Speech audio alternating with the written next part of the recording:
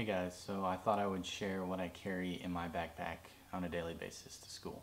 I have an old JanSport here. I've had this for probably the better part of a decade. I carried it for a while in high school. Um, I've sent it back to JanSport a couple times to have it repaired, so I think JanSports are definitely worth the money. I'll probably never have any other brand of backpack. Right here I have one of my old name tapes from one of my uniforms. The reason for that is because at my previous college, the bookstore wouldn't allow you to carry your backpack into the store. You had to leave it basically at the front door. And when it's really busy and there's 20 or 30 backpacks sitting there, I wanted mine to uh, be a little bit more distinguishable because a lot of people just have, you know, plain black backpacks. So I put my name on there. So up front, I don't have a whole lot actually. I got some gum. I'm not a huge gum person, but sometimes I do like it but I chew it so vigorously that it loses flavor within a couple of minutes. I also have a flash drive. Yeah, it's a 32 gig. I haven't used it yet. You know, it can't hurt to have. You know, like these little neoprene cases Case Logic makes, and I have it attached to my backpack so it can't go anywhere. I have a big eraser for math, usually. I have chapstick. I don't usually get chapped lips, but when I do, and I and I finally notice it, and then it's all I can think about, and it drives me up the wall. So I very rarely use it, but when I do, is a lifesaver. And I have some lead, and I have two pencils. I might make a video about these later, but these are the best pencils I think uh, money can buy, in my opinion. So this one is a Uniball Kuru Toga. It's fancy because as you press down on the lead, there's a mechanism inside that causes the lead to rotate so it doesn't create a point and makes it less likely to uh, break off while you're writing. Because sometimes when I'm trying to write really fast or vigorously, I, I break a lot of lead, so it's a nice thing to have. And then my other one is a Zebra DelGuard that I actually had to order from Japan.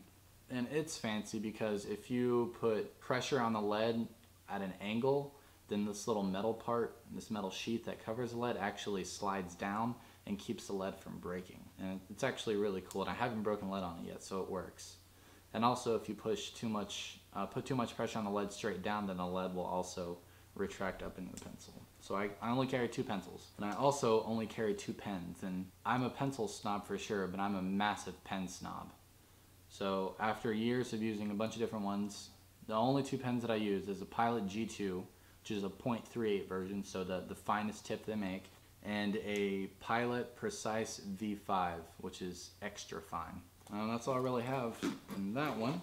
My front pocket here, all I have really is a jacket. In the summertime, it's not usually an issue because I, I'm just so hot all the time. From time to time, I will get cold in the class, and again, if I get cold and it becomes noticeable to me, then it's all I'll think about, and it'll be really distracting, and I'll just be uncomfortable. So it does take up some room, but it's not too heavy. But it's it's one of those things that I think I'd rather rather be safe than sorry. And then down here I have my computer. So um, I have a case for it, even though my my backpack has a laptop sleeve in the back next to my back. Um, I like having this so that I can put my computer um, on top of it when I'm on a desk so my computer doesn't get dirty or scratched up or whatever. Just an added layer of protection. We all know how expensive computers can be and I really don't want to have to buy a new one if I don't have to. And also I carry um, a five star how many dividers is it? It says five, five divider uh, notebook. And I like that it's got sleeves in front of each one. If I want to stick something in there, it's got a ton of paper. Um, I'll probably use most of this paper, uh, if only in math. And also the, the pages are perforated. And that's all I really need. Most of my classes I don't take a lot of notes in, and if I do, I do it on my computer because I can type a lot faster, probably two or three times faster than I can write, and my handwriting's terrible so I prefer to do that. And that way I can watch I can watch the teacher in addition to typing. You know, I can do those things simultaneously rather than have to look up and down at my uh, notebook. And then since I don't use my laptop sleeve for a laptop, um, I actually keep Scantrons in there. And I also keep hard copies of all my syllabi for every class. Um, I also keep digital syllabi on my computer, on my desktop, in a dedicated folder for syllabi. Uh, but I like having a hard copy so I don't have to open up my computer potentially just to do that. So this is a lot faster, you know, inconspicuous. And on the side pocket here, it's for, I would imagine it's for drinks and stuff, but it's gotten a little loose with, with age. And I usually just keep my headphones in there. I do a good bit of walking, so between classes I'll listen to music or listen to a podcast.